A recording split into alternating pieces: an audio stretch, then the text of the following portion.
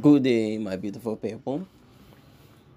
Today we'll be looking at something else. We'll be looking at the founders of the community known as Bonny. Uh, Bonny, for those who have not been following, is a community found in River State. Is it lies more or less along the Atlantic Ocean.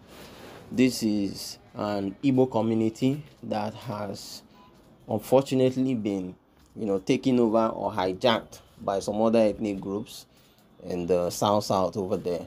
And uh, this is a situation where our people as Igbo people have been dehumanized. They've been made to change their names. A foreign language has been imposed on them. Their histories have been distorted, have been changed, and all that.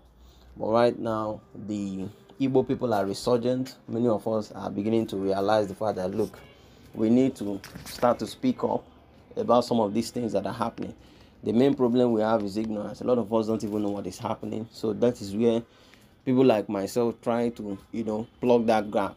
Let's let's let's educate people. Let's sensitize people on what is going on in some of these communities. These are communities that you find more or less at the furthest point. That is at the borders or at the furthest point from you know the center of Igbo land. And so what goes on there most of the time those of us in the hinterland don't know so this is where we discuss about such things so that you know people can know what is going on. So as we were saying, this is the people that have had their histories distorted. Now, in the case of Bonny, you have a situation where the Ijaw people will boldly come out and tell you that they are the ones who, you know, are the owners of Bonny, so to say. They are the founders, they are this, they are that. Then they will tell you that the Igbo people you found in Bonny because Igbo people make up more or less maybe 80% or 90% of Bonny. So they will tell you that um, the Igbo people there were brought there by slave trade, that Igbo people are not indigenous to that place. And unfortunately, our some of our people actually key into this. Some of our people believe that nonsense. You can imagine saying that Igbo people of Bonny came in through slave trade. That is a lie.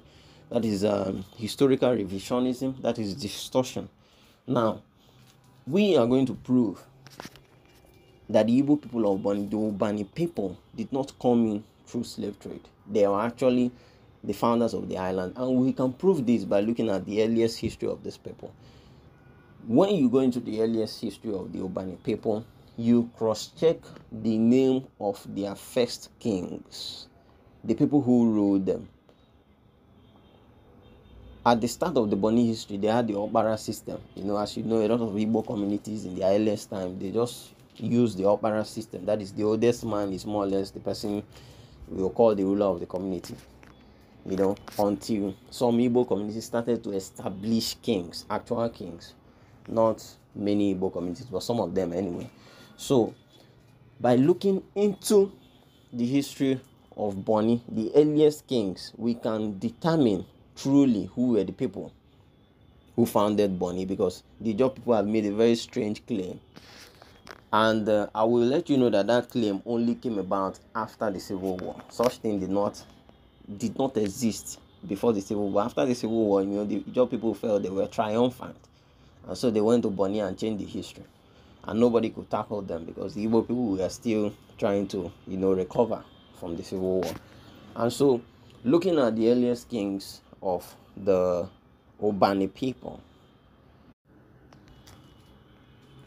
Number one, if you can see the list that uh, projected on the screen, you see at the number one, you have a name that looks like Alagbariye or Alagbariya or whatever they wrote there. I will let you know that that name, that number one name, has suffered what you call revisionism. It has been distorted in fact, most of the names there, if you look at it closely, some of those names have been distorted. You can't exactly tell what was written there because I will let you know that that Alagbari is non-existent in Bonny. That name is non-existent. So what you have is a situation where they took an original name and distorted it. That number one you are seeing there, the, the name actually is Agbara. Agbara is that name, Agbara. Then they put Allah Agbara and still put ye at the end. That Allah there is chief, is a is, is an Ijaw title for like chief, so to say. But then you begin to imagine how in a, an Igbo chief or an Igbo king or an Igbo founder have an Ijo title, that will tell you that those things were added later. It was not there at the beginning. You know, it was not there at the beginning. So his name is Agbara.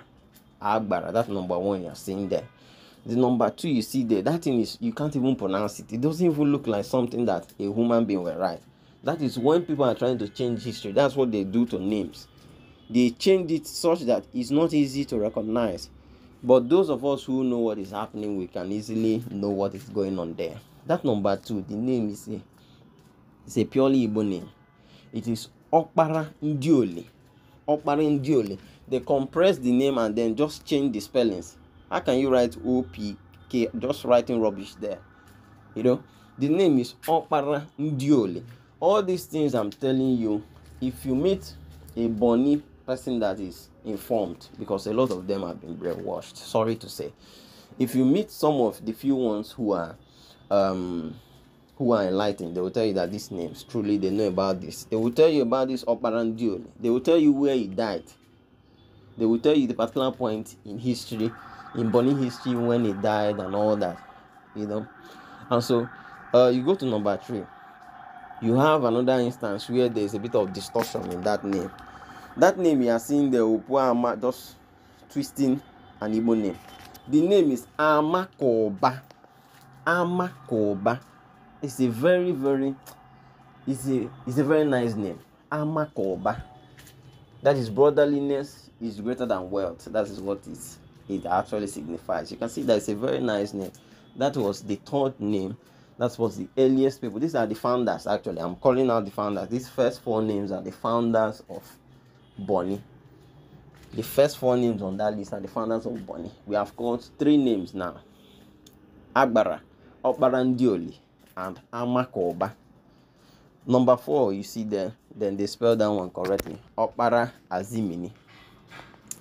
Okpara, that name is Azumini, Azumini, Azumili you know, in Bonny, in their dialect, in the Obani dialect, it's called mini, mini, Opara, Azumini.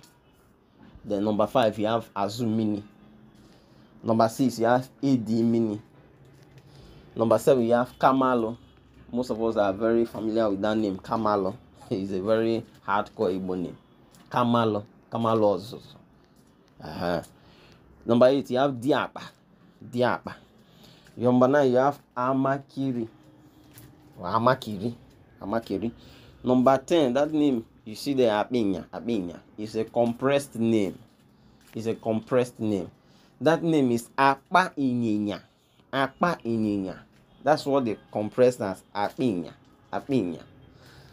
Uh, in Igbo history or in Igbo culture, you have a lot of Inyinya names, and that Inyinya name is always um, is mostly regarded or is mostly connected to the names of chiefs.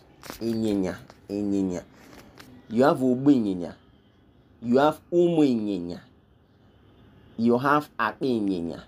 All these Inyinya names are names of big people. Why? Because in the olden days, horses were hard to come by in Igbo land. Horse was a very, it's a, it's a, it's a, it was an animal that had a lot of prestige. So if you have, if you have somebody that have a horse, that person was well respected.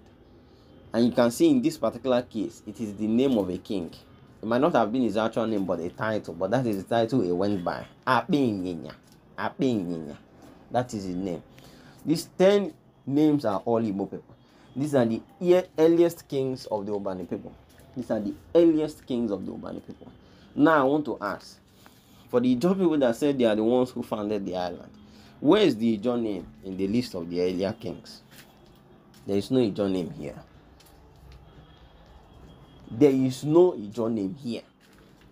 Where are the Ijo names? Look at all of them. They all have Igbo names. Abara, Ndiole, Amakoba, Azimini, Kamalo. You can imagine one of the kings went by Kamalo. For those of us who know what that name signifies, it's not a small name. Kamalo.